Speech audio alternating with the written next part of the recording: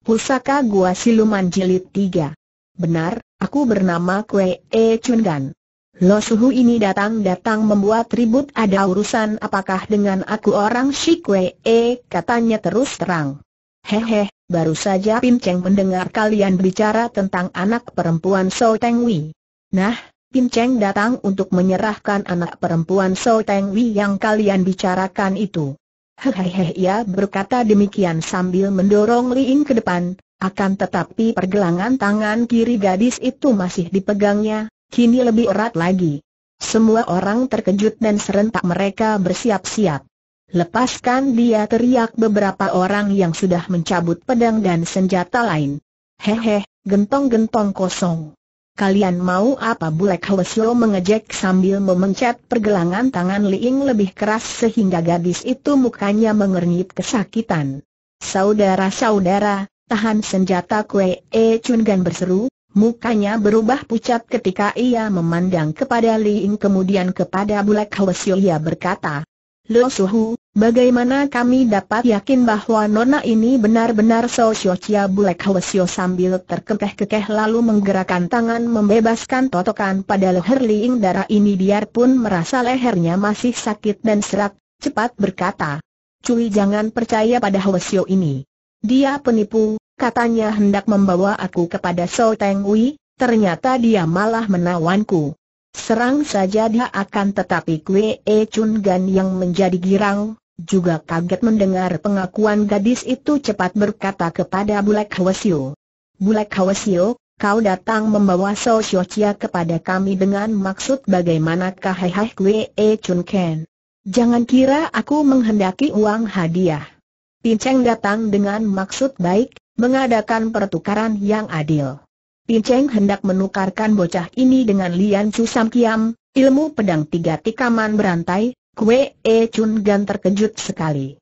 Di antara ilmu pedang Kun Lun Pai, terdapat 17 ilmu pedang yang paling lihai dan jarang sekali ada anak murid Kun Lun Pai mampu memainkan dan Lian Su Sam Kiam adalah tiga di antara tujuh belas yang paling lihai itu, yang merupakan inti ilmu pedang Kunlun Pai dan yang selama ini mengangkat nama besar Kwe E Chun Gan. Biarpun namanya hanya tiga tikaman berantai namun setiap tikaman mengandung dua belas pecahan sehingga ilmu pedang ini seluruhnya ada tiga puluh enam jurus yang sukar dilawan. Bagaimana ia dapat memberikan ilmu ini begitu saja kepada seorang Hwasyo yang dari gerak-geriknya dapat diketahui bukan orang baik-baik? Lepek, paman tua, jangan dengarkan omongannya. Serang dan bunuh Jaya Liing berseru sambil meronta-ronta, tidak peduli tangannya terasa sakit sekali.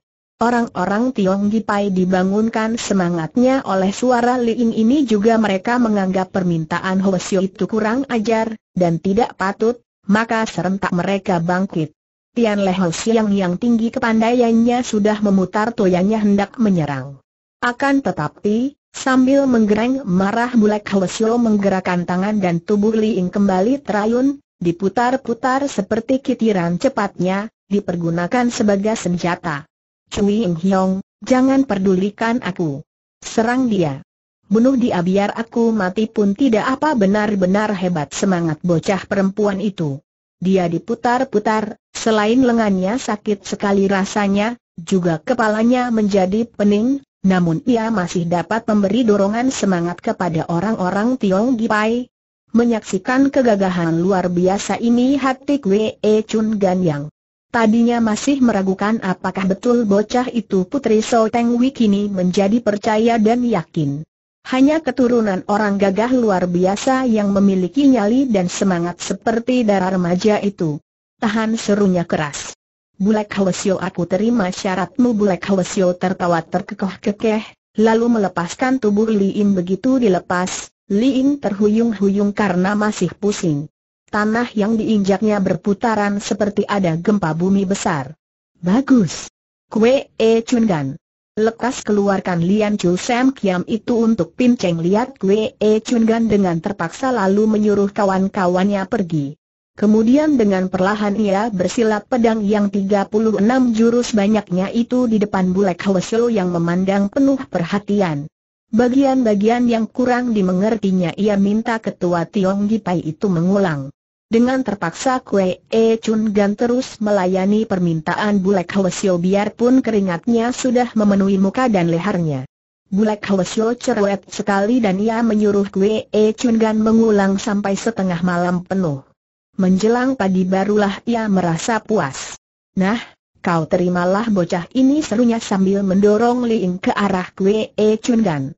Darah remaja yang sudah lemas karena menderita lahir batin itu roboh pingsan dalam pelukan Kue E Chun Gan, sedangkan Bulek Hwasyo cepat melarikan diri. Di kaki gunung ia disambut oleh Tian Le Siang dan kawan-kawannya yang tanpa banyak cakap segera menyerangnya. Hei hei hei, orang-orang Tiong Gipai tak tahu malu. Mana sifat kegagahan kalian bentaknya sambil melawan. Kepandaiannya yang tinggi membuat dia dengan mudah merobohkan dua orang pengeroyok dan cepat ia melarikan diri. Betapapun juga ia khawatir kalau sampai Kue E Chun Gan mengejar ke situ, sukarlah baginya meloloskan diri. Kawan-kawan, lepaskan dia. Janji laki-laki harus dipegang teguh terdengar Kue E Chun Gan berseru keras. Mendengar ini, Para anggota Tiong Gipai menahan senjata dan mengurungkan niat mereka mengejar dan menyerang dengan senjata rahasia. Kemudian mereka menolong kawan-kawan yang terluka lalu menghampiri Kwe E. Nona ini harus kita rawat baik-baik, agaknya ia lelah sekali. Menurut pengakuannya tadi, dia benar-benar putri So Tai Hiap, Li Ling membuka matanya dan melompat bangun. Aku memang benar putri So Teng Namaku So Liing tadinya aku datang bersama kongkongku, Hamin Tolosu, akan tetapi kena tertipu oleh Hwasyo keparat tadi. Dia pura-pura hendak mengambil murid kepadaku dan mengajakku ke tempat ayah, tidak tahunya, tiba-tiba terdengar bunyi tartar seperti cambuk, akan tetapi lebih keras dan nyaring sekali, disusul suara gerengan seperti singa yang memekakkan telinga. Semua orang terkejut. Suara ini membuat jantung mereka merasa berhenti berdetik dan kedua kaki mereka emas. Apa itu tanya seorang dengan suara gemetar. Memang hebat sekali suara tadi, membuat hati seorang yang bagaimana tabah pun menjadi takut.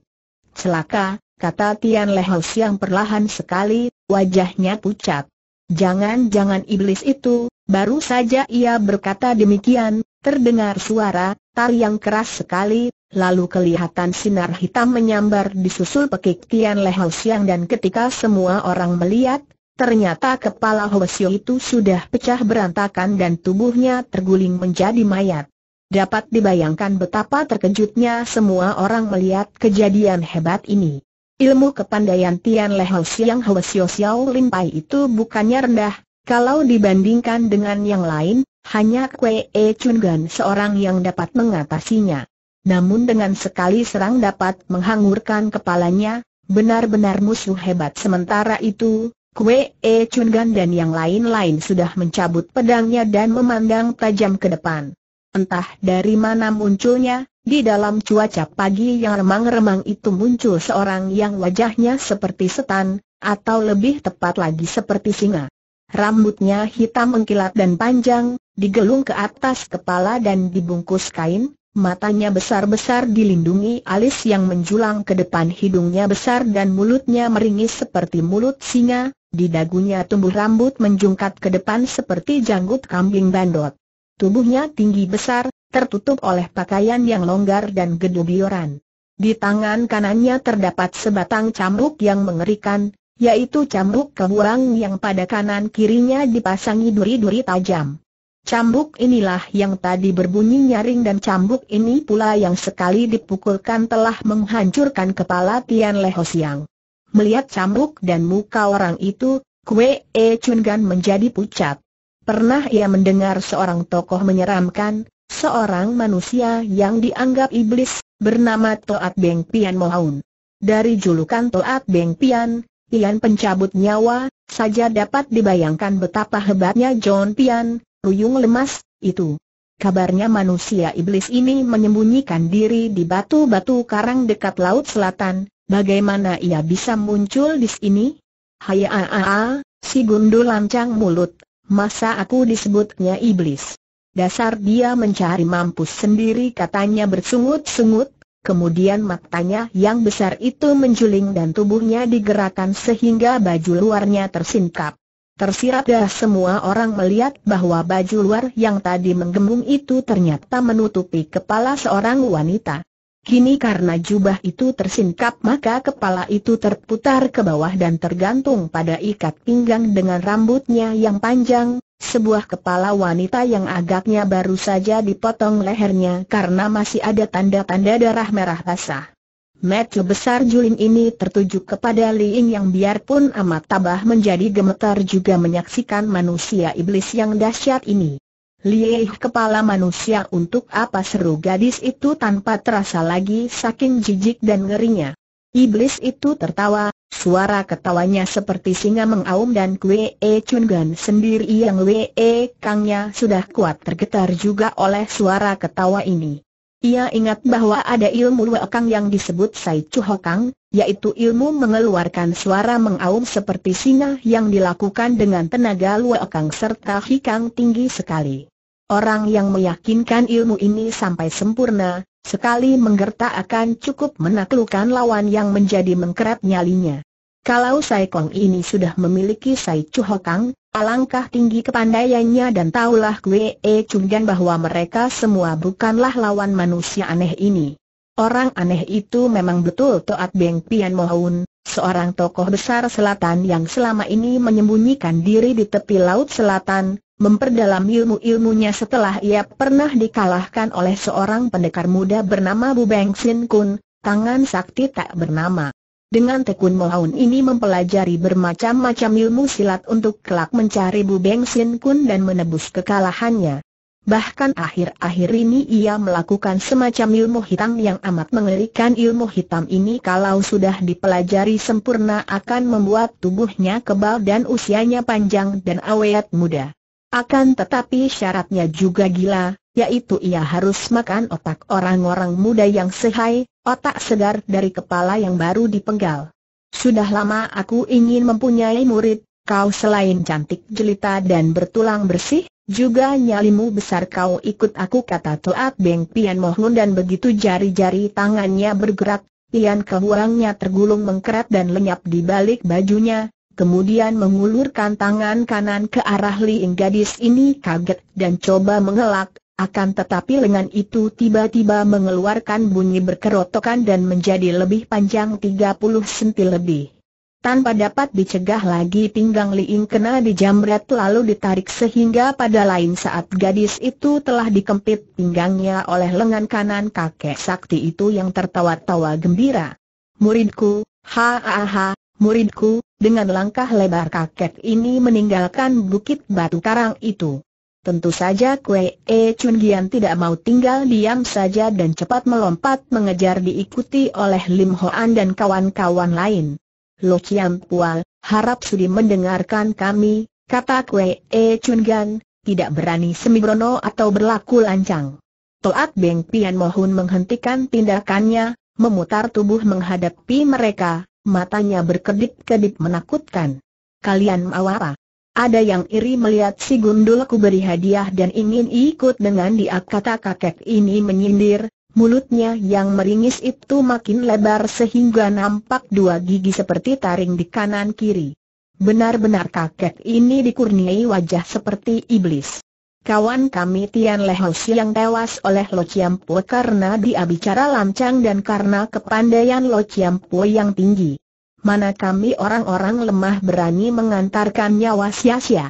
Akan tetapi nona itu, kami harap Lo Chiampo sudi melepaskan dan membebaskannya dia muridku, keparat kata kakek itu memandang penuh ancaman kepada Kue E Chungan. Akan tetapi dia adalah putri tunggal dari So Teng Hui Tai Hiap, kami harus melindunginya, biarpun untuk itu kami harus berkorban nyawa. Kalau dia Lo Ciampu bawa, bagaimana kami harus mempertanggungjawabkan kalau So Tai Hiap kelak menanyakan dia mana dia, So Teng Hui tiba-tiba kakek ini bertanya penuh gairah. Kami sedang mencari-carinya, ini hari bertemu dengan puterinya kami sudah merasa amat girang, maka harap Lo Ciampu sudi melepaskannya, haha, Bagus sekali. Jadi ini putri orang Siso yang menjemukan? Haha, biar anaknya menjadi muridku dia anak baik, cantik manis berkulit halus pipinya merah. Ayahnya biar ku tangkap belakangan, jantung Kwe Cu Ugan dan yang lain-lain serasa berhenti berdetik celaka, pikir mereka. Tidak taunya kakek iblis ini pun memusuhi So Teng Wei. Kalau begini percuma saja minta dia melepaskan Liing dengan nekat Kwe Chun Gan mencabut pedangnya, akan tetapi ia didahului oleh Tio Seeng. Orang Tio ini seperti diketahui adalah bekas anak buah So Teng dan ia masih mempunyai hati setia kepada pendekar itu. Mendengar ada orang memusuhi So Teng dan menculik putrinya, timbul keberanian dan kenekatannya. Sambil memaki, Shai Kong siluman lepaskan So Chia ia menyerbu dengan senjata Xiang Tu, golok kembar, dengan gerakan cepat dan kuat. Golok menyambar dari atas dan tengah, akan tetapi Mohun tidak bergerak, hanya tertawa bergelak dengan suara ketawanya yang seperti setan-setan menangis di neraka.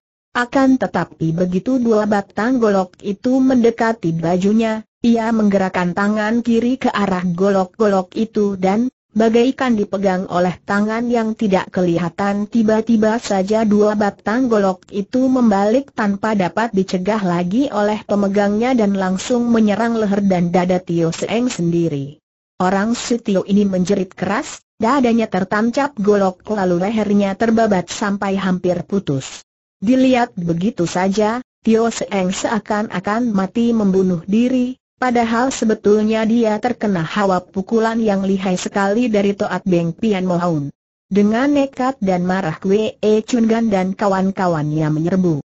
Lagi-lagi kakek itu mengangkat tangan kiri, kini ujung lengan baju dikebut-kebutkan ke depan, angin dingin menyambar-nyambar, mula-mula dari depan menyambar keras membuat mereka tak dapat membuka mata. Kemudian hawa pukulan yang mendatangkan angin itu berputaran seperti puyuh dan belasan orang itu terguncang dan terhuyung saling tabrak.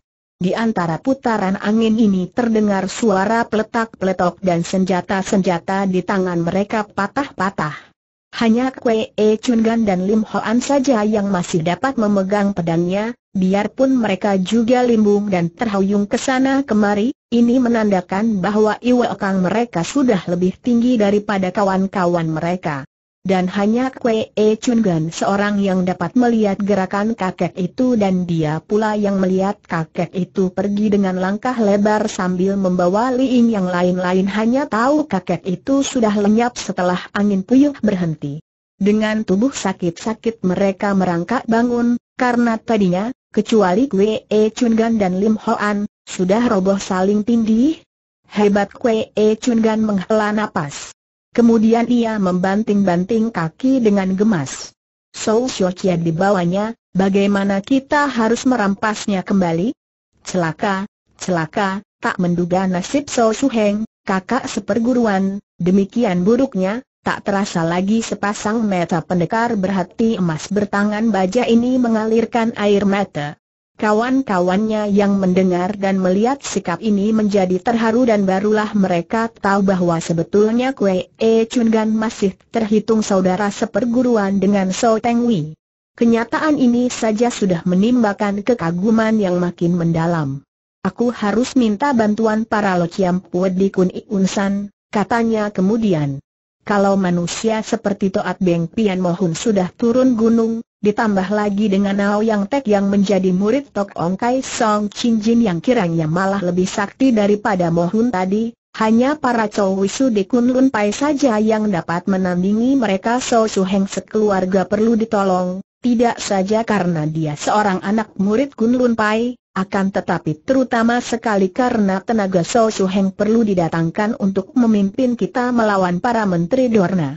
Terutama sekali, kita harus memperkuat diri untuk menghadapi merajalelanya para menteri Dorna dengan kaki tangan mereka yang demikian lihai mungkinkah mohon tadi pun kaki tangan para kansin Lim Hoan ragu-ragu.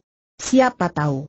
Para pembesar korup itu sudah kelebihan harta benda yang dapat mereka hamburkan untuk mempertahankan kedudukan mereka, Kue E Chun Gan menarik napas panjang, lalu katanya, Aku Kue Erun Gan Hei ini terpaksa membocorkan rahasia ilmu pedang Lian Chu Sam Kam kepada seorang rendah semacam Bulek Hwasio, kemudian terpaksa kehilangan Putri So Su Heng.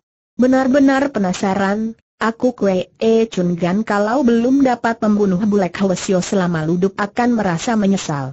Kawan-kawan, mari kita segera pergi, siapa tahu Mat yang Tai Jin mengetahui tempat pertemuan kita ini, dengan hati gelisah dan kecewa, orang-orang gagah itu berpencaran turun dari bukit itu. Akan tetapi tiba-tiba terdengar suara dari jauh, Cui Ing Hiong, tunggu dulu. Mereka berhenti dan menengok. Dari kaki bukit itu datang berlarian dua bayangan orang yang amat cepat dan gesit gerakannya. Kue E Chun Gan tertegun. Lagi-lagi datang orang-orang yang tinggi kepandaiannya, lawan atau kawankah yang datang lagi ini? Setelah dekat ternyata bahwa mereka itu adalah seorang laki-laki gagah setengah tua, kurang lebih 45 tahun usianya, memakai topi berbentuk batok, di sebelah kirinya berlari seorang wanita cantik dan gagah berusia 40 tahun lebih. Begitu berhadapan dengan Kue E Chun Gan dan kawan-kawannya, orang itu menjura dengan hormat. Apakah Xiao Ta berhadapan dengan Parang Hiong dari Tiong Gipai Perkumpulan Tiong Gipai adalah perkumpulan rahasia yang tidak boleh diperkenalkan kepada orang asing begitu saja, maka Kue E Chun Gan menjawab singkat. Sahabat siapa dan dari manakah, datang mencari siapa orang itu mengering, kepada wanita gagah di sebelahnya sambil tersenyum, lalu memandang ke arah dua gundukan tanah yang baru digali, Agaknya baru saja untuk mengubur orang, yaitu kuburan dari Tian Le Siang dan Tio Seeng yang dibuat oleh para anggota Tiong Gipai baru saja sebelum mereka pergi. Saudara-saudara Tiong Gipai benar-benar teliti dan hati-hati. Agaknya baru saja terjadi sesuatu yang hebat. Bekas-bekas tangan Toat Beng Pian Mohun masih nampak jelas, Agaknya lagi-lagi pian pencabut nyawa dari iblis tua itu sudah mendapat korban di antara saudara-saudara Tiong Gipai. Cui Hiong harap jangan menaruh curiga kepada kami, kiranya Cui mengenal tanda ini orang itu mengeluarkan sebuah lengki, bendera tanda utusan raja, kecil dari saku bajunya. Melihat ini, Kue E Chun Gan dan kawan-kawannya terkejut. Kiranya dua orang inilah utusan-utusan dari Raja Muda Yungelo di Peking. Harap Taijan maafkan kami yang tidak mengenal dan tidak menyambut sepatutnya, kata Kue E Chun Gan yang hendak menjatuhkan diri berlutut di depan utusan raja itu.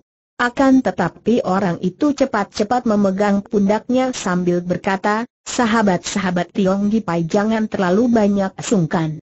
Bangunlah agar kita enak bicara, Ketika kedua tangannya memegang pundak Kwe E Chun Gan, ketua Tiong Gipai ini merasa sepasang telapak tangan yang lunak, namun di dalamnya mengandung tenaga menarik yang dia sendiri tak mampu mempertahankan sehingga terpaksa ia bangkit lagi lalu menjura. Taijin benar-benar telah memberi pelajaran, hamba merasa tunduk, adakah kau yang bernama Kwe E Chun Gan tanya orang itu sambil memandang tajam. Betul, hamba yang rendah adalah Kwe E Chun Gan. Mendengar ini, orang itu memegang tangan Kwe E Chun Gan dengan girang lalu berkata, Kwe E Si Chu. Buang jauh-jauh itu segala sebutan Taijin dan hamba-hambaan. Copot jantungku mendengar aku disebut-sebut Taijen utusan raja. Dengarlah, aku bukan seorang pembesar biarpun kini terpilih menjadi utusan raja.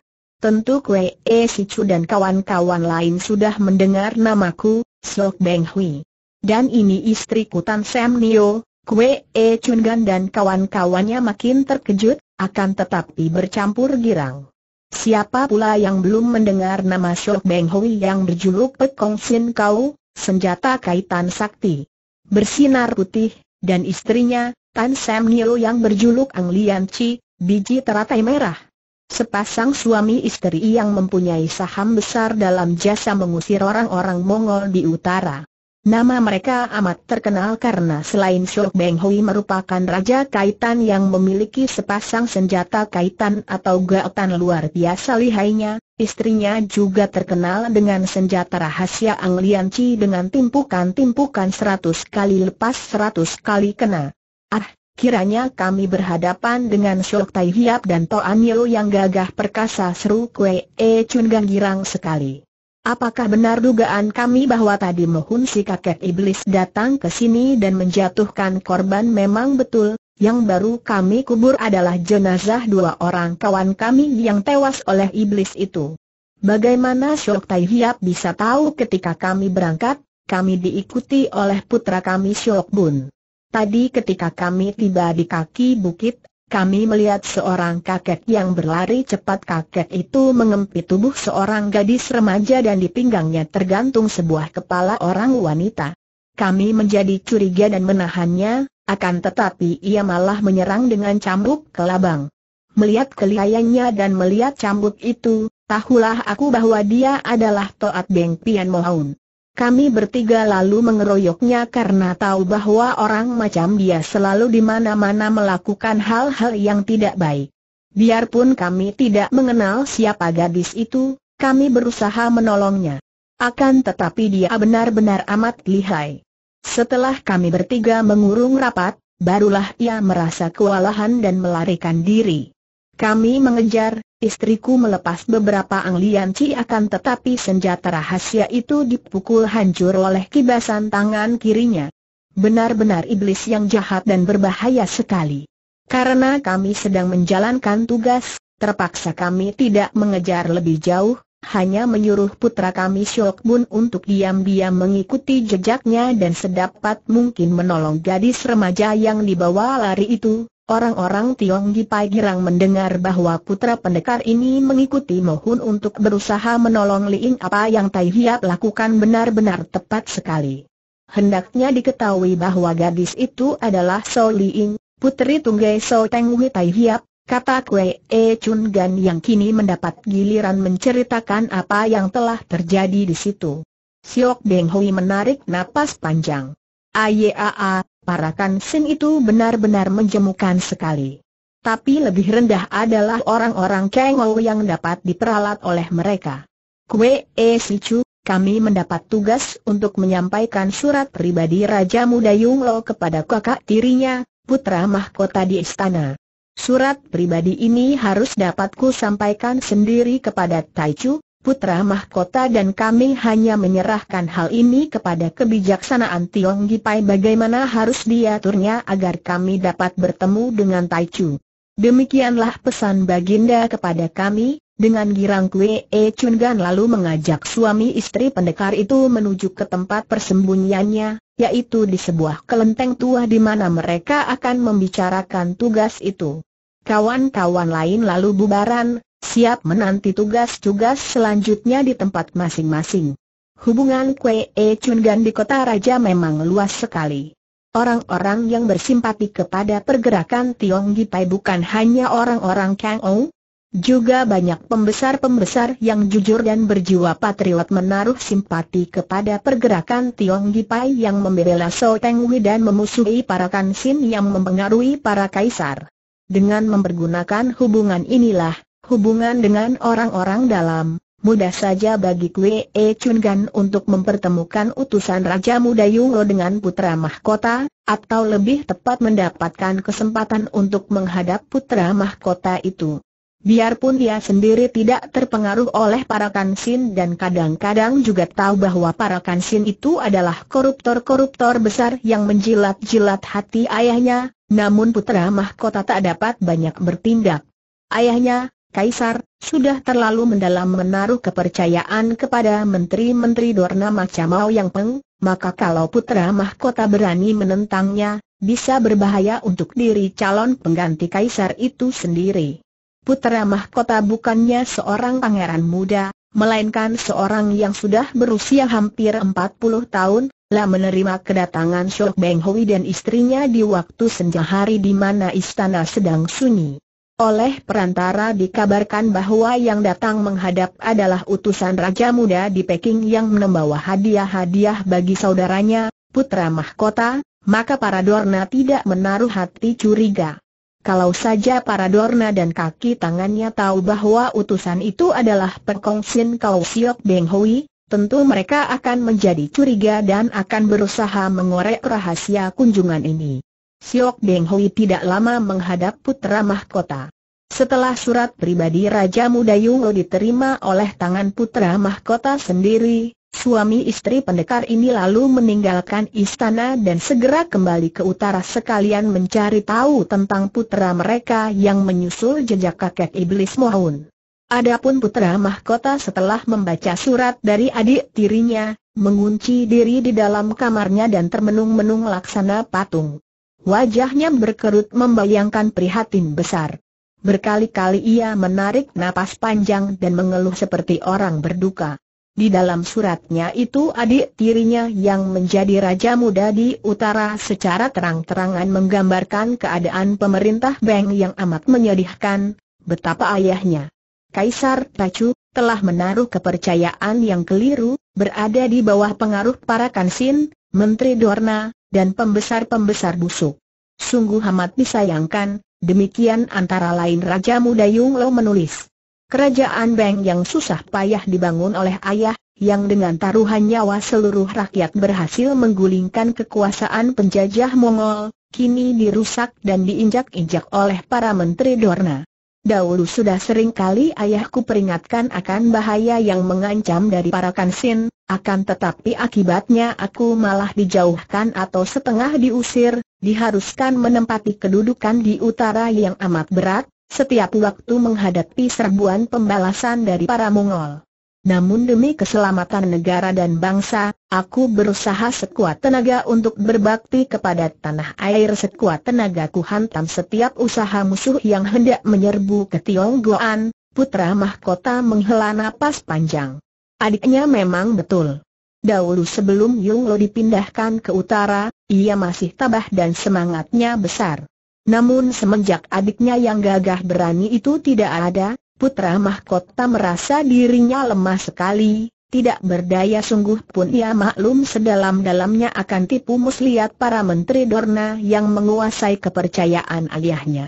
Ayah sudah tua, tidak akan ada gunanya lagi bagiku untuk memperingatkan beliau, takkan beliau turut. Akan tetapi kau, saudaraku, kau adalah putra mahkota yang tak lama lagi akan menggantikan kedudukan ayah, kalau tidak dari sekarang kau bertindak, kelak kau pun akan menjadi seorang raja yang lemah tak berdaya. Namanya saja raja namun pada hakikatnya tiada lain hanya sebagai boneka di tangan para kansin. Tahukah kau bahwa seluruh orang gagah di negeri kita ini marah-marah kepadamu? Kau dibenci karena kelemahanmu. Karena kelemahanmu kau dianggap segolongan dengan para dorna. Lekaslah bertindak, pergunakan kedudukanmu sebagai putra mahkota. Basmi sampai habis para dorna dan pembesar korup sebelum terlambat. Hanya kalau kau berani menempuh perjuangan berbahaya melawan para penjilat itu, kerajaan kita dapat diselamatkan. Lebih baik kita sendiri cepat-cepat membersihkan kotoran yang menempel di badan sebelum rakyat yang bertindak mendaulat kita. Bukankah kelak kau menjadi raja juga demi rakyat? Rakyat sekarang terhisap oleh koruptor-koruptor yang menggantikan kedudukan penjajah, mereka amat menderita, jangan kau enak-enak saja, isi surat Raja Muda Yunglo yang penuh berisi peringatan pedas itu menggugah hati putra mahkota, membuatnya semalam suntuk tak dapat tidur. Beberapa kali pintu terketuk oleh pelayan-pelayan dan dayang-dayang yang datang hendak melayaninya, namun semua ia usir pergi lagi. Pada keesokan harinya, dengan muka pucat tubuh layu karena semalam tidak tidur, putra mahkota terus berdendan dan mohon menghadap ayahnya. Di depan ayahnya, dengan wajah sungguh-sungguh ia menyatakan kekhawatirannya tentang keadaan pemerintahan. Tentang berita yang didengarnya bahwa para menteri banyak yang tidak melakukan tugas sebaiknya, banyak yang berkorupsi, Bahkan banyak peraturan berat di luar peraturan raja telah dilakukan oleh para pembesar untuk menindas rakyat. Bahwa banyak orang gagah merasa tidak puas. Bodoh, kau tahu apa raja membentaknya sambil menghirup parak hangat yang disuguhkan oleh selir-selir cantik dan muda untuk menghangatkan tubuhnya yang sudah tua dan suka sakit-sakit tulang pada hawa dingin itu, menteri-menteriku semua setia dan baik, Bagaimana kau bisa mendengarkan hasutan-hasutan orang luar yang merasa iri kepada kita? Itulah omongan para musuh yang hendak memberontak, manusia-manusia macam So Teng Wei yang berkepala dua, ingin merebut tahta kerajaan. Kau harus hati-hati kelak kalau kau menggantikan aku, harus banyak minta nasihat menteri-menteri kita yang sudah banyak pengalaman menghadapi manusia-manusia durjana itu. Rakyat tertindas? Hah? Siapa bilang? Kita sudah berjuang mati-matian membebaskan rakyat daripada penindasan penjajah, bagaimana sekarang bisa tertindas setelah merdeka? Lihat saja keadaan rakyat di luar istana, Bukankah mereka jauh lebih baik keadaannya daripada dahulu di zaman penjajahan putra mahkota menghela napas? Diam-diam ia membenarkan isi surat Yung Lo bahwa percuma saja berunding dengan ayahnya yang sudah tua. Ayahnya hanya melihat kehidupan di dalam kota raja, pusat keramaian dan pusat perdagangan di mana orang hidup serba cukup apalagi memang para menteri Durna tidak berani menjalankan peranannya di kota raja di depan hidung kaisar. Akan tetapi coba saja lihat keadaan di kampung-kampung, di dusun-dusun, biarpun ayahnya sendiri tentu akan kaget setengah mati melihat penderitaan rakyat yang tak jauh bedanya dengan masa penjajahan pemerintah Mongol. Dengan hati berat dan semangat patah kembali, putra mahkota mengundurkan diri dari depan ayahnya, sama sekali tidak tahu betapa beberapa pasang metu yang indah jeli dari selir dan pelayan mengerling ke arahnya dengan tajam. Kerlingan maut yang amat berbahaya karena beberapa orang di antara sekian banyak juwita yang setiap hari siang malam melayani dan mendampingi kaisar ini adalah kaki tangan Ouyang Taijin. Malam hari berikutnya terjadi hal yang hebat dan ngeri putra mahkota kedapatan telah tewas di dalam tempat tidurnya sendiri. Tidak terdapat tanda-tanda pembunuhan, tidak ada setetes darah pun mengalir, tidak ada luka sedikit pun. Para ahli pengobatan yang datang memeriksa hanya menyatakan bahwa putra mahkota meninggal dunia karena keracunan, akan tetapi tak seorang pun di antara mereka tahu care bagaimana pangeran sulung itu terkena racun. Yang bisa menjawab hanyalah Hao Yang Taijin, karena Menteri Dorna inilah yang minta pertolongan guru putranya, yaitu Tok Ong Kei Song Chin Jin yang luar biasa tinggi kepandaiannya.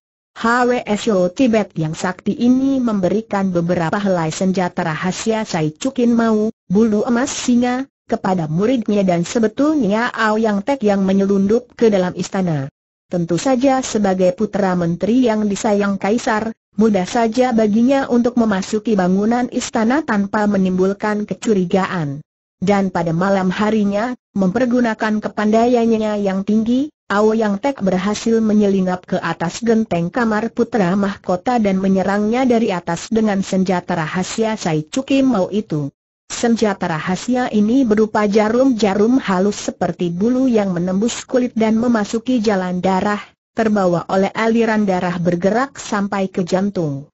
Senjata rahasia ini mengandung racun hebat yang hanya dapat dibuat oleh seorang raja racun seperti Kai Song Chin Jin, dan hebatnya, saking lembutnya ketika memasuki kulit tidak meninggalkan bekas apa-apa, seperti bekas gigitan seekor nyamuk saja.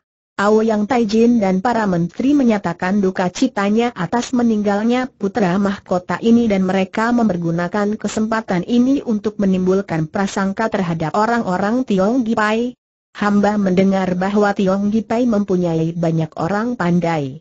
Siapa tahu kalau-kalau kematian Taichu bukan kematian wajar, melainkan perbuatan keji daripada Tiong Gipai, Siapa lagi kalau bukan Tiong Gipai yang menghendaki kematian putra mahkota karena bermaksud merebut tahta kerajaan demikianlah antara lain suara-suara berbisa dari Yang Taijin dan para menteri sehingga kaisar menjadi makin benci dan marah, lalu memberi perintah kepada seluruh panglima untuk membasmi Tiong Gipai. Sementara itu, Para menteri juga mengusulkan agar kedudukan putra mahkota diberikan kepada putra Taichu yang sudah meninggal dunia, jadi kepada cucu baginda yang masih muda. Kaisar yang sudah terlalu percaya kepada para Dorna itu berbalik curiga kepada putra-putranya sendiri terutama sekali kepada Raja Muda Yungro, maka tanpa ragu-ragu Kaisar menerima usul ini. Orang tua, kau hendak membawaku C. Mana Liing bertanya ketika ia dapat memutar kepalanya sehingga tiupan angin kencang tidak menyesakkan napasnya. tubuhnya masih dikempit oleh kakek iblis Toat Beng Pian Mohun, dibawa lari cepat bukan main melalui bukit-bukit yang penuh hutan menuju ke timur. Akan tetapi kakek itu hanya terkekeh saja tanpa menjawab, berlari-lari terus dengan cepatnya. Kepala yang tergantung di pinggangnya bergerak-gerak dan rambut yang panjang itu melambai-lambai mengerikan. Oleh tiupan angin rambut itu menyapu-nyapu muka Liing yang mencium bau rambut harum tercampur bau amis darah. Menjijikan sekali, apalagi ketika kepala itu bergeser ke belakang sehingga muka mayat tak bertubuh itu berhadapan dengan mukanya, melihat kulit pucat pasi, mata setengah terbuka dan bibir yang tadinya manis itu seperti menyeringai kepadanya, Liing menjadi muak dan takut. Baru kali ini selama hidupnya ia merasa takut dan ngeri. Kakek tua, kau yang berkepandaian tinggi ternyata berhati kecil. Pengecut makinya tanpa berdaya karena kempitan kakek itu benar-benar erat sekali membuat ia tak dapat bergerak sama sekali. Apalagi karena pundaknya sudah ditotok membuat kedua tangannya lumpuh. Mendengar dimaki pengecut, kakek itu menghentikan larinya, ia melempar tubuh Liing ke atas tanah seperti orang membenci. Matanya yang lebar melotot seperti mau copot dari pelupuknya mulut yang tak pernah tertutup bibirnya itu menyeringai makin lebar. Selama hidup belum pernah ada orang berani memaki aku pengecut. Kau bocah setan berani berlancang mulut bentaknya marah sekali. Liing sudah berlaku nekat. Lebih baik segera dibunuh daripada hidup tersiksa di tangan iblis ini. Ia tertawa nyaring, suara ketawanya menggema di hutan itu. Ketika tadi terlempar ke atas tanah yang penuh rumput, ia merasa betapa enaknya rebah di situ, lebih baik rebah di situ selamanya daripada dibawa lari seperti tadi. Ia melihat di atasnya pohon-pohon raksasa dan tanpa menoleh ke sana kemari ia dapat menduga bahwa mereka berada di sebuah hutan besar kakek iblis Saikong busuk kau lebih pengecut daripada pengecut yang paling hina rasa heran akan keberanian gadis Mi mengalahkan kemarahannya, bahkan kemarahan mohon berangsur-angsur lenyap, terganti oleh keinginan tahu sampai di mana keberanian gadis cilik ini. Gadis bernyali naga, mengapa menganggap aku pengecut seorang dengan kedudukan tinggi seperti ini, beraninya hanya menghina seorang anak perempuan kecil seperti aku. Tadi menghadapi tiga orang gagah kau tidak berani banyak tingkah dan melarikan diri. Huh, apakah sikapmu itu bukan sikap seorang pengecut terhadap mereka kau takut? Beranimu hanya terhadap aku bocah cilik mohon menjadi marah sekali, akan tetapi karena takut dianggap benar-benar hanya berani terhadap gadis itu, ia melampiaskan marahnya pada kepala wanita yang tergantung di pinggangnya lah merenggut putus rambut kepala itu, memegang kepala di tangan kiri, lalu tangan kanannya bergerak memukul dengan jari-jari tangan terbuka dimiringkan. Krak pecahlah kepala itu dan di lain saat tangan kanannya sudah menjumputi benda putih-putih lunak dan dimasuk kau ke mulut, terus dikunyah kelihatan enak sekali. Akan tetapi muka yang mengerikan itu nampak muram dan marah, matanya terus memandang Liing dapat dibayangkan betapa hebat guncangan hati gadis itu menyaksikan pemandangan yang mengerikan ini. Perutnya seperti diaduk-aduk rasanya hawanya naik ke dada terus ke tenggorokan. Hanya dengan ketabahan luar biasa saja gadis itu dapat menekan perasaannya hendak muntah-muntah karena ia merasa muak sekali. Ia maklum bahwa di samping kesukaannya makan otak manusia, kakek iblis ini sengaja hendak membuat dia ketakutan. Bocah lancang, siapa bilang aku takut kepada mereka? Jangankan baru ada perkongsian kau Siok Beng Hui bersama anak dan istrinya, biarpun ada sepuluh Siok Beng Hui aku takkan takut. Aku, Toat Beng Pian Mohun selama hidup tidak takut siapa-siapa, dengan pian kehuangku ini aku sanggup memenggal leher siapa pun juga setelah berkata demikian, Mohon mencabut piannya dan tar-tar-tar pian kehuang itu berbunyi dan menyambar dekat leher Leing akan tetapi gadis itu hanya tersenyum, bahkan berkata, kau kira aku takut terhadap senjata blangsetmu itu? Hah, mau bunuh lekas bunuh, siapa takut? Sebaliknya kau yang takut kepadaku, hahaha, aku takut kepadamu buktinya, mengapa kau menotok memikir lumpuh aku? tentu kau takut kalau-kalau aku menyerangmu kau takkan mampu membela diri, kakek iblis itu tertawa terpingkal-pingkal mendengar ini. Masa dia takut kepada bocah yang diculitnya ini? Benar-benar lucu, dan bocah ini benar-benar amat besar nyalinya. Tian kehuangnya bergerak cepat menyambar tubuh Liing tanpa mengeluarkan bunyi dan tahu-tahu Liing merasa terbebas daripada totokan. Diam-diam gadis ini merasa makin kagum melihat kelihayan iblis itu dan maklum bahwa memang Toat Beng Pian Mohun seorang yang memiliki kesaktian luar biasa. Akan tetapi ia tidak mau memperlihatkan kelemahannya. Sambil berseru keras ia melompat maju dan memukulkan tangan kanannya ke arah ulu hati kakek itu. Mampuslah bentaknya. Seperti seorang dewasa menghadapi bocah cilik yang nakal, Mohun hanya tertawa cengar-cengir, seakan-akan ia tidak melihat datangnya pukulan. Kalau saja Oli Ling melanjutkan pukulannya, tentu setidaknya kepalan tangannya yang kecil akan bengkak atau tulang jarinya akan patah-patah bertemu dengan dada yang sudah diisi penuh dengan tenaga Iwa Kang yang tinggi itu. Akan tetapi, biarpun maklum akan kerendahan ilmu silat gadis itu, Mohun masih belum tahu akan kecerdikan Liing gadis cilik ini pun maklum bahwa memukul seorang sakti seperti Toat Beng Pian Mohun adalah berbahaya sekali. Maka begitu kepalan tangannya menyambar lengan kakek itu dan dengan gerakan amat aneh, cepat dan tidak terduga ia telah melemparkan tubuh kakek itu. Toat Beng Pian Mohun tadi memang sengaja diam saja tidak melawan. Ia sama sekali tidak pernah mengira bahwa gadis cilik ini akan melakukan serangan aneh ini bukan memukul melainkan melemparkannya dengan gerakan aneh yang tidak dikenalnya.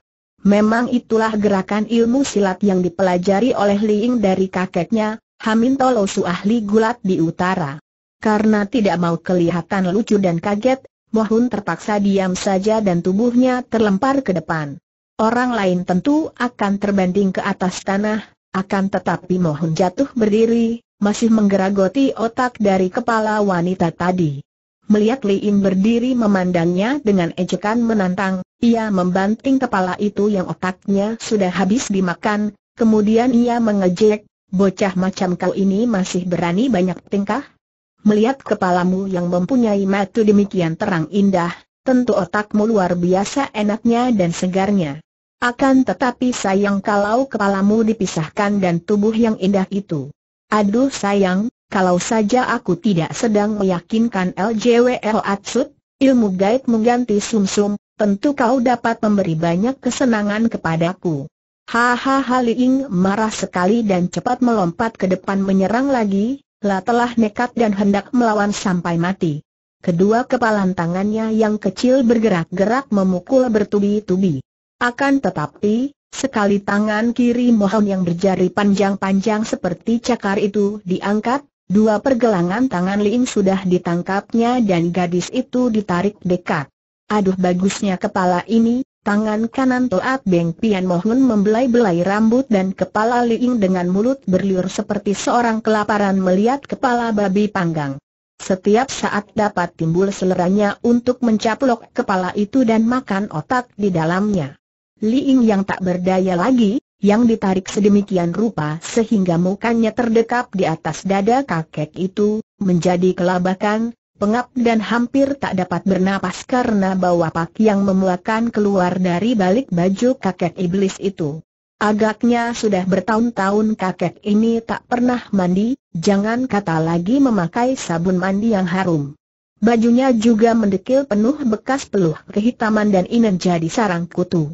Kepala bagus, enak, enak, enak, hem, selera mohon sudah timbul dan sudah gatal-gatal tangannya untuk meremukan kepala itu mencari oraknya. Tiba-tiba tampak olehnya pipiang. Kemerahan dan kulit muka yang halus itu. Dijambaknya rambut Liing yang hitam panjang dan ditariknya ke belakang sehingga muka gadis itu menengadah ke atas. Alangkah ngerinya hati Liing ketika mukanya berhadapan dengan muka iblis itu. Terasa olehnya dengus napas yang panas sekali dari hidung dan mulut Mohun, tercium olehnya bau amis dan busuk dari mulut itu, bau bangkai. Apalagi ketika muka itu menyeringai terkekeh, hampir tak tertahan pula bau menjijikan itu. Hehe, sayang kalau dirusak. Kau cantik sekali, cantik sekali, pipimu kemerahan. Ah ah ah, seperti buah masak, cantik saking tak kuat menahan bau busuk dan kemarahannya, Li Ling mengumpulkan kekuatan lalu meludah ke arah muka itu. Iblis busuk, lepaskan nona itu tiba-tiba terdengar bentakan keras dan muncullah seorang pemuda tampan yang langsung menyerang Mohun dari belakang dengan sebuah senjata gaetan di tangan kanannya. Pemuda ini bukan lain adalah Syok Bun, putra Sin Kau Siok Beng Hui yang ditugaskan oleh ayahnya untuk mengikuti perjalanan Toat Beng Pian Mohun. Karena tadinya Mohun melakukan perjalanan dengan berlari cepat sekali, Syok Bun tertinggal jauh. Akan tetapi pemuda yang gigih ini terus mengejar sehingga akhirnya ia dapat juga menyusul. Siok Bun maklum bahwa kepandaiannya masih jauh untuk dapat menandingi kakek itu, namun melihat Ling diperlakukan seperti itu, ia tak dapat menahan gelora darah mudanya, dengan nekat lalu maju menerjang. Entah mengapa, melihat sikap yang berani dan kegagahan luar biasa dari gadis itu, Bun menjadi terharu dan tertarik, bahkan siap membela dengan mempertaruhkan nyawanya. Sungguh pun tingkat kepandaian Toat Beng Pian Mohun masih jauh lebih tinggi daripada pemuda itu, namun ilmu Kau Hoat dari Syok Bun tak boleh dipandang ringan. Dia adalah putra tunggal dari Pak Kong Sin Kau Siok Beng Hui, maka gerakan gatannya cepat dan mengeluarkan sinar putih menyilaukan mata. Gatan ini dengan cepat dan kuatnya menyambar ke arah kepala Mohun. Toat Beng Pian Mohun mengibaskan tangan kanannya dan ujung lengan bajunya membentur gaotan. Senjata itu terpental kembali dan Shok Bun kaget sekali karena dalam gebrakan pertama ini saja hampir senjatanya terlepas dari pegangan sementara itu, Toat Beng Pian Mohun menggereng saking marahnya dan mendorong Liing ke samping. Gadis ini begitu bebas lalu mencari batu dan membantu pemuda itu dengan menyambitkan batu ke arah Mohun.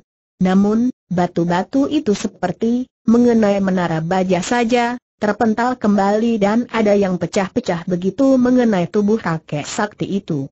Bocah lancang, apa kau ingin menyumbangkan kepalamu?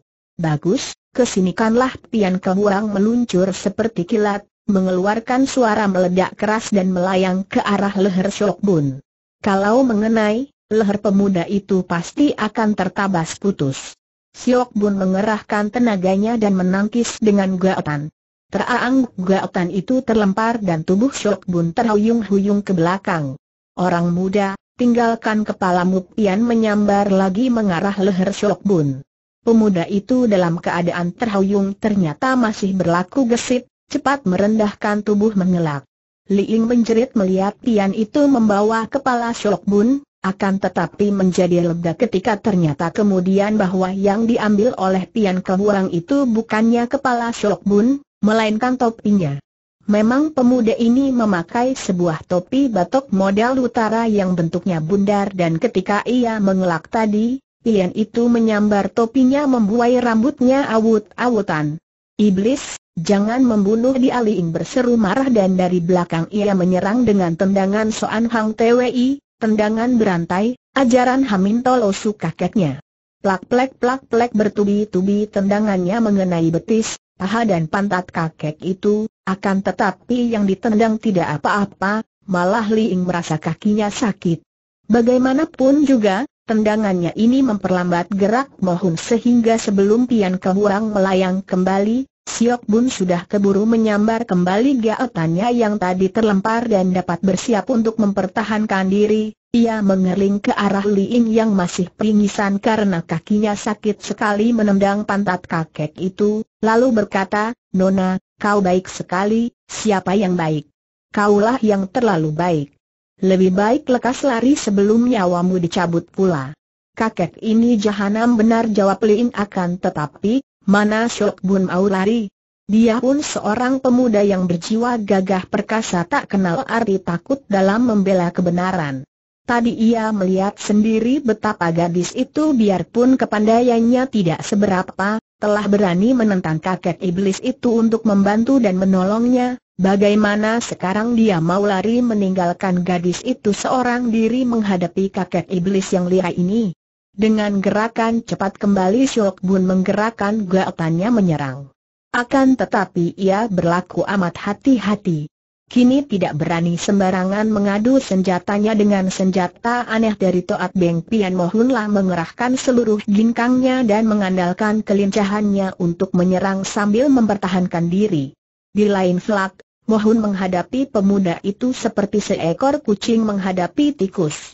Ia tak pernah menggeser kaki, hanya berdiri menyeringai dan setiap kali Gaotan datang menyambar, ia menangkis dan berusaha untuk melibat Gaotan itu dengan pian kelabangnya. Biarpun ia berlaku lambat dan tenang-tenang seenaknya saja, namun payahlah Syok Bun untuk maju. Angin pukulan pian yang menyambar-nyambar dahsyat cukup membuat ia terhalang dan serangan-serangannya tidak ada artinya, bahkan beberapa kali hampir saja gaotannya terlibat dan terampas lagi. Hahaha, nona cilik. Kau lihat saja tingkah pemuda goblok ini. Kepandaiannya tidak ada artinya akan tetapi berani dia mengganggu Toat Beng Pian Mohon. Hahaha, biar dia keluarkan semua peluhnya dulu baru kuambil kepalanya agar otaknya tidak berbau keringat sungguh pun kepandaian Liing masih terlampau rendah untuk dapat menilai pertempuran itu, namun dengan otaknya yang cerdik begitu melihat sikap Mohun, tahulah dia bahwa pemuda tampan itu bukan lawan kakek sakti ini.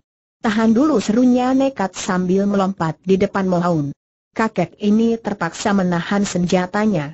Aku mau bicara sebentar dengan dia dengan enaknya. Liing menghentikan dua orang yang kepandaiannya jauh lebih tinggi daripadanya dari pertempuran, benar-benar hal yang lucu dan aneh. Liing menghampiri Syok Bun yang juga terheran-heran. Kau baik sekali, siapa sih namamu? Melihat sikap polos gadis berpipi merah ini, makin terharu dan tertariklah hati Syok Bun lah harus membela mati-matian, tidak boleh gadis seperti ini dikorbankan kepada manusia iblis macam Mohaun. Aku bernama Shok Bun, Nona. Aku Li Ing So Li Ing anak tunggal So Teng Wei. Pemuda itu kelihatan terkejut sekali mendengar disebutnya nama pahlawan besar ini, saking herannya ia sampai tidak dapat berkata apa-apa. Siok Bun kau percayalah kepadaku, kau tidak akan menang melawan iblis jahat ini. Lebih baik kau lekas lari menyelamatkan diri, aku harus melindungimu Nona, biarpun harus mengorbankan nyawa, ucapan ini keluar dari hati pemuda itu karena begitu mendengar bahwa Nona ini putri So Teng ia menjadi makin kagum dan tertarik. Bodoh, daripada kita dua-duanya mampus, lebih baik seorang saja. Kelak kalau bertemu dengan ayah, Katakan bahwa aku mati di tangan iblis busuk bau bangkai mohon. Nah, kau pergilah cepat namun Syok Bun tetap tidak mau pergi. Sementara itu, Mohon yang mendengarkan percakapan ini, tertawa menyeringai penuh ejekan. Tiba-tiba pian kehurangnya berdetak di udara dan di lain saat ujung pian sudah melihat pinggang Liing dan sekali disentakan, tubuh nona itu sudah tergulung dan tertarik ke dalam kempitan lengan kirinya lagi. Benar-benar hebat sekali kepandaian Mohaun. Pian itu penuh duri meruncing di kanan kiri, duri-duri yang amat runcing dan tajam. Akan tetapi dapat digunakan untuk melibat pinggang gadis itu tanpa melukainya. Hal ini membutuhkan Iwa Kang yang sudah mencapai tingkat tinggi baru dapat orang melakukan hal itu. Namun Syok Bun tidak kenal takut dan senjata kaunya sudah bergerak lagi mengeluarkan sinar putih. Sekarang roboh kau mohon membentak dan piannya menangkis dengan tenaga sepenuhnya. Terdengar suara keras karena Syok Bun tidak berhasil menarik kembali senjatanya sehingga gaetan itu kena digempur terlepas dari pegangannya. Tian menyambar lagi ke arah leher pemuda itu yang cepat melompat mundur hampir dua tombak jauhnya. Namun mana mohon mau melepaskannya. Dengan lompatan seperti harimau melompat, Kakek ini mengejar dan piannya menyambar lagi. Sekali lagi dengan susah payah Siok Bun mengelak dengan jalan melempar diri ke atas tanah dan bergulingan. Hanya satu dim terpisahnya pian itu dari leher. Hahaha, kau boleh juga. Dua kali dapat menghindarkan pianku, akan tetapi sekali lagi kepalamu pasti putus toat Beng Pian mohon memutar-mutar pian kehuang di atas kepalanya, kakinya cepat melompat mendekat, Sedangkan Siok Bun mencoba untuk melompat menjauhi. Pada saat itu, tiga sinar merah menyambar. Terang-terang tiga buah senjata rahasia Ang Lian Chi terpukul oleh pian kelabang, pecah berantakan di atas tanah. Akan tetapi serangan ini menyelamatkan nyawa Syok Bun karena tadi pian itu tidak jadi menyerang pemuda itu melainkan ditarik kembali untuk menyampok senjata rahasia. Menyusul sinar merah ini, dua sinar putih meluncur cepat menyerang Toat Beng Pian Mohaun. Inilah sepasang gaetan di tangan Pek Kong Sin Kau Siok Beng Hui yang bersama istrinya pelepas senjata rahasia tadi sudah berada di situ. Melihat ayah bundanya sudah datang, dengan girang Siok Bun lari mengambil gaetannya yang tadi terlempar, kemudian ia membantu ayah bundanya mendesak Mohun. Ternyata bahwa suami istri gagah ini dalam perjalanan kembali ke Peking, kebetulan sekali mengambil jalan ini dan tepat dapat menyelamatkan nyawa putra mereka dari jangkauan maut seperti ketika turun dari Bukit Batu Karang Menara, Kini Mohun menghadapi keroyokan Siok Bieng Hui seanak istri. Biarpun kepandaian Mohun masih lebih tinggi, namun ia tidak ada nafsu untuk bermusuhan dengan keluarga gagah ini. Apalagi Ang Lian Chiang bertubi-tubi dilepas oleh Nyonya Siok Beng Hui benar. Benar merupakan bahaya. Oleh karena itu selelah memutar piannya sehingga tiga orang lawannya terpaksa melompat mundur, Sambil mengeluarkan suara ketawa panjang Toat Beng Sin Pian Mohun melarikan diri. Tiga orang itu tidak dapat mengejarnya, karena memang dalam hal ilmu lari cepat, Mohun masih menang setingkat dari Shok Bieng Hui sedangkan ilmu silatnya masih jauh lebih unggul. Kalau saja Shok Beng Hui maju sendiri tanpa bantuan istrinya yang selain ahli senjata rahasia Ang Lian Chi juga seorang ahli pedang yang tidak rendah kepandaiannya, tentu pendekar Shishok itu tidak akan dapat menandinginya. Kembali Liing dibawa lari cepat oleh Mohun. Akan tetapi gadis ini sekarang agak terhibur mengingat bahwa Bun pemuda yang gagah tampan dan baik hati itu, selamat dan tentu pemuda itu kelak akan membalaskan sakit hatinya dan menyampaikan kepada ayahnya sehingga iblis tua ini akan terbalas. Pengecut, menghadapi musuh kuat melarikan diri. Cih, tak tahu malu kembali ia mengejek. Li Ying sudah putus harapan untuk dapat menyelamatkan diri. Dia sama sekali tidak takut mati, biarpun nanti kepalanya dipecah dan otaknya dimakan, gadis keturunan pahlawan ini tidak gentar menghadapi maut. Yang membuat ia gelisah dan meremang bulu tengkuknya adalah sikap Mohun yang agaknya suka kepadanya. Bahaya ini jauh lebih besar daripada bahaya maut, dan gadis ini maklum bahwa di tangan iblis ini, ia selemah lilin, tidak berdaya apa-apa. Oleh karena itu ia sengaja memancing-mancing kemarahan iblis ini agar dia lekas dibunuh. Habis perkara, tidak menanggung kegelisahan yang hebat ini. Kali ini Mohun menjawab sambil masih tetap berlari, siapa takut? Aku hanya tidak mau melepaskan kau. Kalau tidak ada kau yang merepotkan tentu mereka bertiga sekarang sudah menjadi setan-setan tanpa kepala. Hahaha hanya menyombong saja pandai. Beraninya hanya menghina anak kecil seperti aku. Coba kau bertemu dengan ayah, ku tanggung dalam sepuluh jurus kau akan terjungkal dan pian bobrokmu itu patah-patah menjadi selusin tidak mungkin kini Mohun berhenti dan melepaskan Liing tidak percaya. Coba saja. Ayah baru seorang jantan gagah perkasa, tidak sudi menghina perempuan kecil. Pantas saja kau berani kepadaku, seorang bocah yang tidak berkepandaian. Coba ada ayah di sini, kau diganyang habis dalam sepuluh, eh tidak, dalam tujuh jurus saja memang Liing pandai bicara dan sikapnya begitu sungguh-sungguh sehingga Mohun terkena bakarannya dan menjadi panas perutnya. Kau bohong.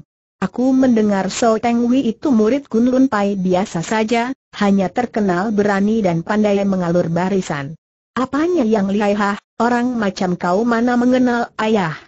Ketika aku masih kecil, aku menyaksikan sendiri betapa seribu orang tentara Mongol diganyang habis oleh ayah seorang diri dalam waktu kurang dari setengah hari saja. Kau mampu berbuat begitu mohon tertegun. Hebat juga, pikirnya. Dia ini memang hanya pandai silat, otaknya tidak dapat dikata cerdik, bahkan mendekati tolol. Kalau tidak manusia tolol, Mana ada meyakinkan ilmu yang syaratnya harus makan otak manusia. Kini ia mulai terpengaruh oleh gertak sambal liing betul demikian lihaikah So Teng Wei ayahmu itu. Lihai mana dengan Pek Kong Sin Kau Siok Beng Hui tadi tanyanya untuk mencari perbandingan.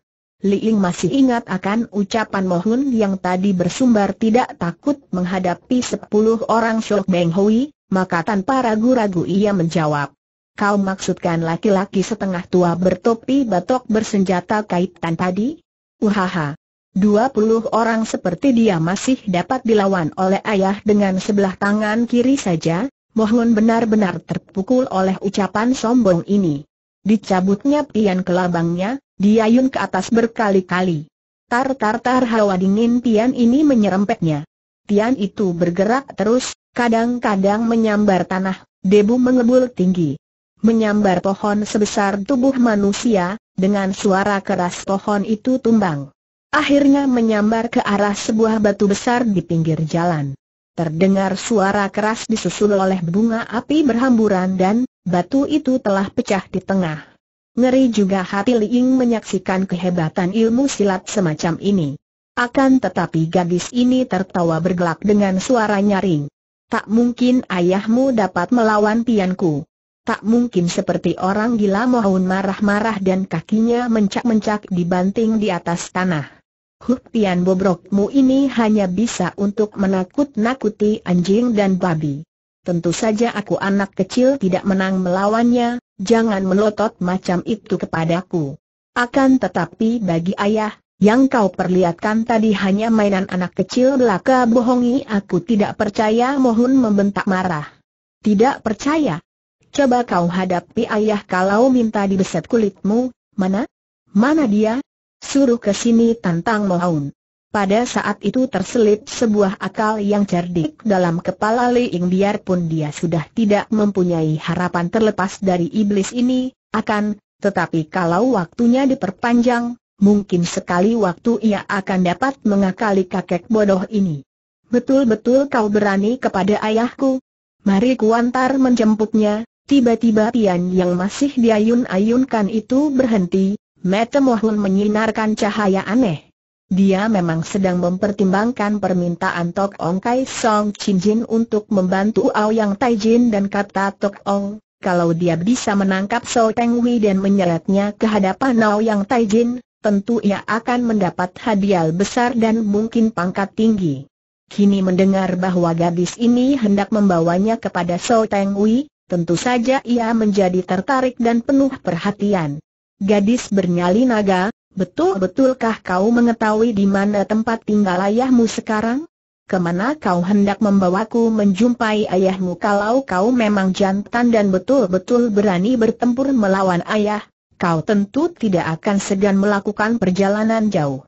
Ayah tinggal di sebuah pulau kosong di Laut Timur, di pulau kosong yang mana? Pulau apa itu dan di mana? Ada ribuan pulau di Laut Timur, Tentu saja Liing tidak tahu pulau apa itu karena dia sendiri pun hanya mengarang saja dan selama hidupnya belum pernah melihat laut, hanya mendengar dongeng kakeknya. Akan tetapi ia tahu bahwa sungai-sungai besar memuntahkan airnya di Laut Timur, maka tanpa ragu-ragu dan dengan sikap sungguh-sungguh ia menjawab. Pulau itu letaknya tidak jauh dari pantai, dekat muara sungai Wangho. Nama pulau kosong itu tentu saja menurut nama keturunan ayah, So Weng Tu, Pulau Pendekar So, bagus, mari kita pergi mengunjungi ayahmu kata Mohun yang cepat mengempit Ling dan membawanya lari cepat menuju ke sungai Huang Ho berhari-hari, bahkan berpekan-pekan mereka melakukan perjajanan. Dengan akal bulusnya Ling dapat membuat kakek itu percaya, bahkan kakek itu berjanji takkan mengganggunya sebelum bertanding dengan So Teng Wei. Kalau ayah sampai kalah olehmu, benar-benar kau seorang jantan yang gagah luar biasa dan aku akan suka menjadi apa saja yang kau inginkan. Jadi muridmu, atau istrimu, atau menyerahkan otakku dengan sukarela, tentu takkan membantah lagi, bukan main girangnya hati Toat Beng Pian Mohun mendengar janji ini.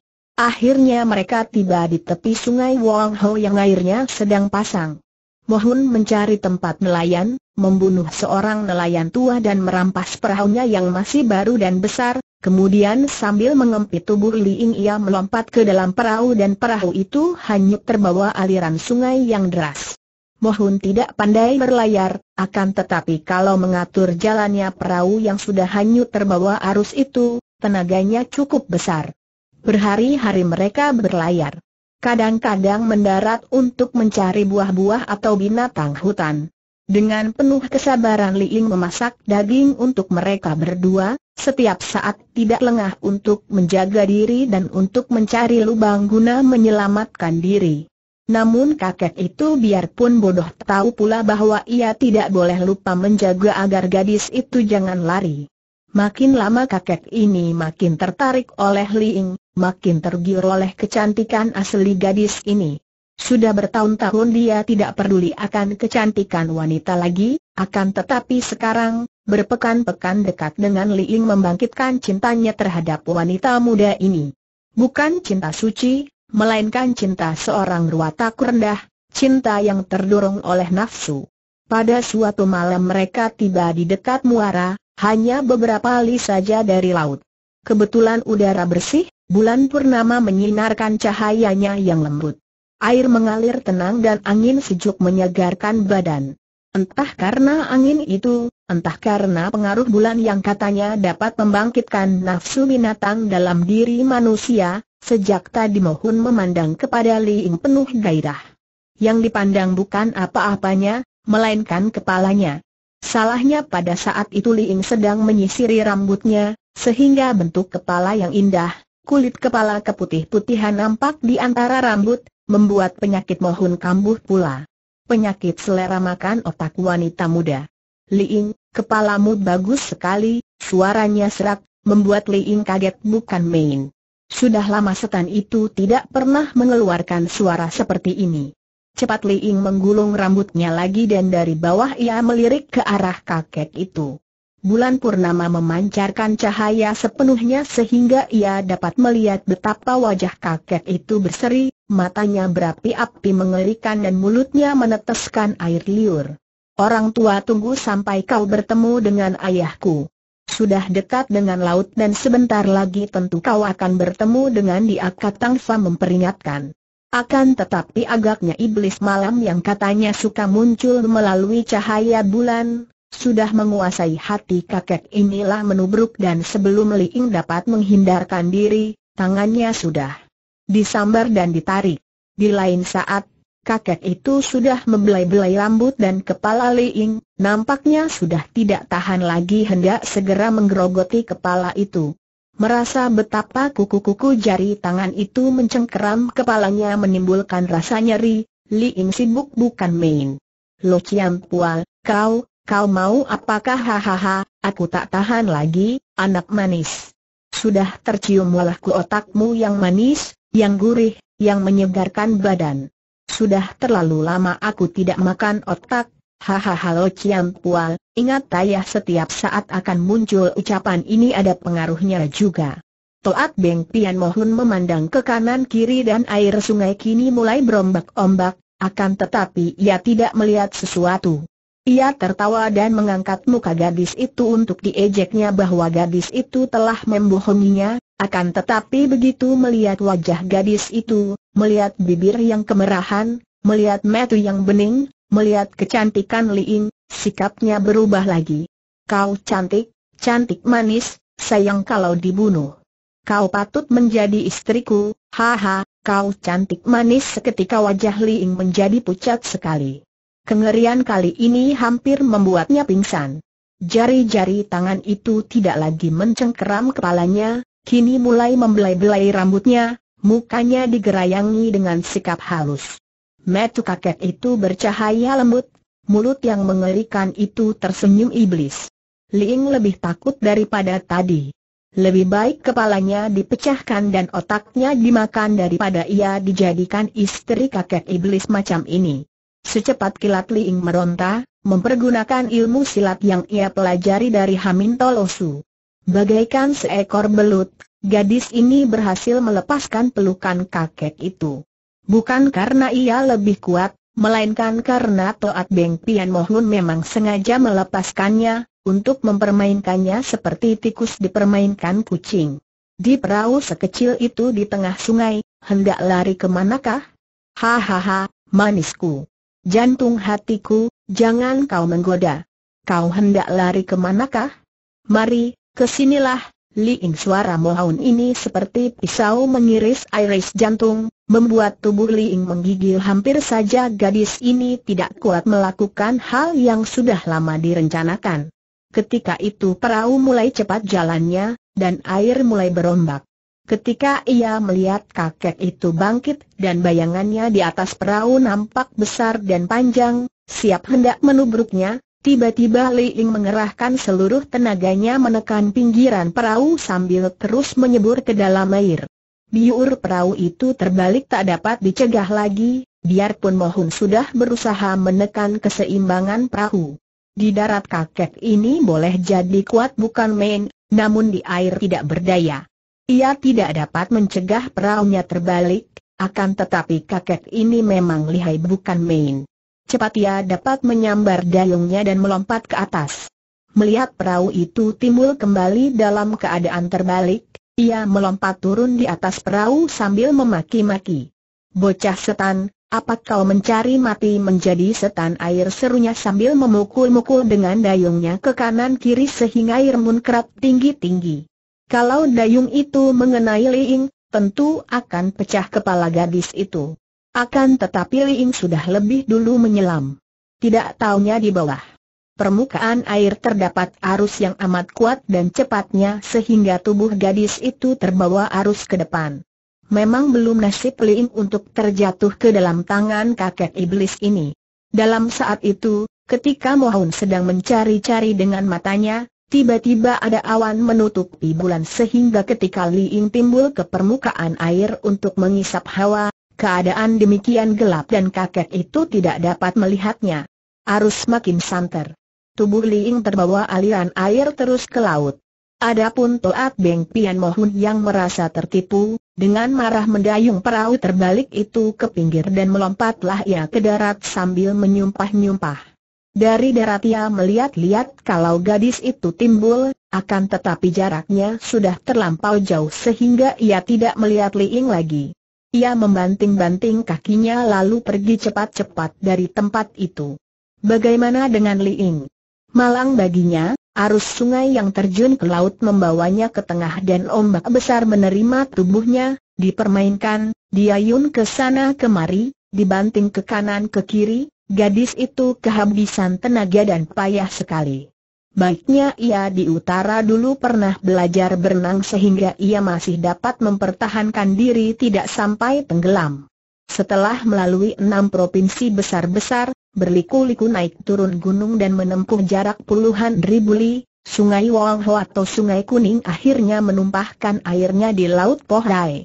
Setiap hari banyak sekali air dimuntahkan sungai itu ke dalam laut, tak pernah berhenti beratus, beribu tahun lamanya. Tidak hanya sungai Wangho, masih banyak ratusan batang sungai besar kecil menumpahkan airnya ke dalam laut. Terus mengalir tiada hentinya. Namun laut tak pernah terlalu penuh, tidak pernah meluap sampai merendam pulau-pulau. Aneh benar, sama anehnya dengan sungai-sungai yang tak pernah kehabisan air biarpun airnya terus dibuang ke dalam laut. Jarang ada orang sudi memusingkan otak memikirkan hal ini Jarang ada yang mengagumi pengatur maha besar yang mengatur semua ini demikian beras dan lancar. Dan sama sekali tak mungkin kalau ada orang yang sedang terapung di tengah laut memikirkan hal itu. Akan tetapi benar-benar ada orang terapung-apung di tengah samudera yang pada saat itu memikir akan semua ini, dan orang itu adalah So Liing, gadis yang berhasil Nia lepaskan diri dari kekuasaan manusia iblis Toat Beng Pian Mohun untuk merelakan diri diterima oleh kekuasaan air laut yang ganas. Tadinya ia lelah bukan main dan sudah hampir habis harapan untuk hidup, dipermainkan oleh ombak laut yang menggelora. Pada saat tubuhnya dihempaskan ke kanan kiri bagaikan sehelai daun ringannya, tiba-tiba betisnya terasa sakit tertumbuk sebilah papan kayu tebal. Cepat Li Ying menerkam kayu ini dan selanjutnya ia dapat bernapas lega. papan itu merupakan penolong nyawanya, penolong sementara sebelum ia ditelan ombak memasang. Baiknya air laut mulai tenang dan ia memeluk papan itu melepaskan lelah, membiarkan dirinya di bawah hanyut oleh papan sambil melamun. Liing seorang gadis yang berhati baja, tabah dan ia dapat menghadapi maut tanpa berkedip mata. Gemblengan kakeknya, Hamin Tolosu bukan percuma, kakek ini menempat dan menggemblengnya menjadi seorang gadis remaja yang berhati baja bersemangat gagah perkasa sungguh pun tingkat ilmu silatnya masih jauh untuk membuat ia patut disebut wanita gagah perkasa. Selain ketabahan, pada dasarnya Soliin berwatak periang, memandang dunia dan sudut terang, selalu bergembira dan dalam segala hal masih dapat mengecap kenikmatan kejadian itu, masih dapat menemukan untung dalam semua peristiwa, sungguh pun bagi orang lain tak mungkin ada keuntungan itu. Sebagai contoh, biarpun dirinya sudah tak berdaya, berada di tengah laut yang tidak kelihatan tepinya, tak diketahui bagaimana nasib dirinya selanjutnya, namun mendapatkan sebatang papan itu Liing masih merasa beruntung. Untung ada papan ini, pikirnya gembira lahir batin, sama sekali lupa akan rugi yang dideritanya, yakni diombang-ambingkan di tengah samudera tanpa harapan tertolong.